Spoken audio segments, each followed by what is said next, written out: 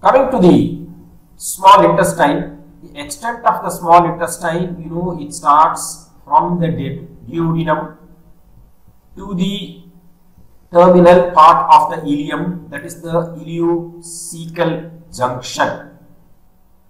But when we discuss about the coils of intestine, it starts from the duodenojejunal flexure to the ileocecal junction. From the duodenojejunal flexure to the ileocecal junction, it is the most mobile part.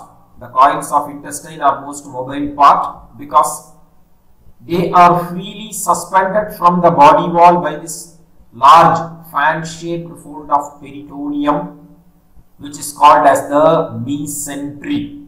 So, because it is suspended by the peritoneum, it is also an intraperitoneal organ. It is an intraperitoneal organ.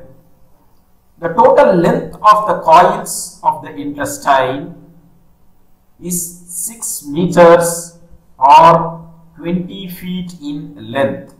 It is 6 meters or 20 feet in length of which the proximal or the upper two-fifth is by the jejunum and the distal three-fifth is by the ileum. Proximal two-fifth is by the jejunum and the distal three-fifth is by the ileum. So, which means around uh, 8 feet of the 20 feet, first 8 feet is actually contributed by the jejunum. The remaining 12 feet or the distal 3 fifth is actually contributed by the ileum. So, it is mainly developed from the primitive midgut. So, the midgut derivatives are actually from the lower part of the second part of the duodenum distal to the opening of the bile duct and the common pancreatic duct ampulla of Vater. Below that, the remaining second, third and fourth part of the duodenum. Then the whole of the jejunum, ileum, cecum, appendix, ascending colon and right two-third of the transverse colon. So, up to this, it is actually a mid-gut derivative.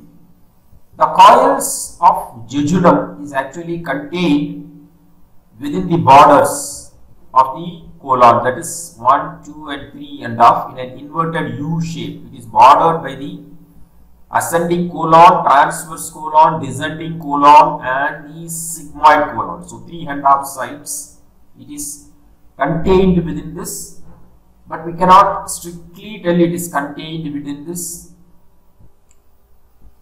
the coils are mobile so naturally what happens is they move during the peristaltic movement or sometimes they come to lie in front of the ascending colon mostly on front of the ascending colon that is towards the right side.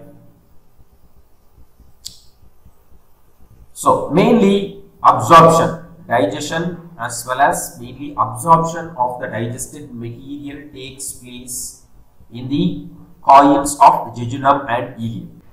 Now, when you look at the basic structure of the whole of the GIT, mainly it actually consists